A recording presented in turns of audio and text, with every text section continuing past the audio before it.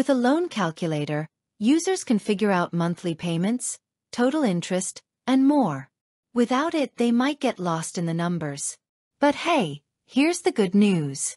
You can easily add a loan calculator. Let me show you how.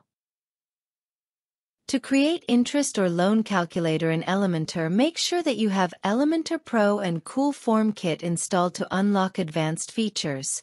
After installing, activate them. Go to Pages. Add new page or edit existing one in which you want to create interest or loan calculator.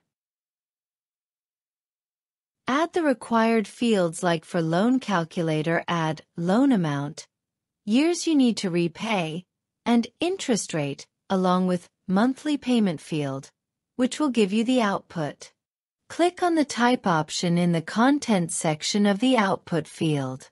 Scroll down and select calculator. In the calculation formula box enter formula. Make sure to enter correct field IDs in the formula, otherwise your loan calculator will not work. Check the field ID in the advanced option of form fields. In the before and after section enter prefix and suffix that you want to display before and after the output value. After making the changes, Update the page and click on Preview Changes. Check the functionality of the loan calculator by entering the loan amount, the years you need to repay the amount, and the interest rate.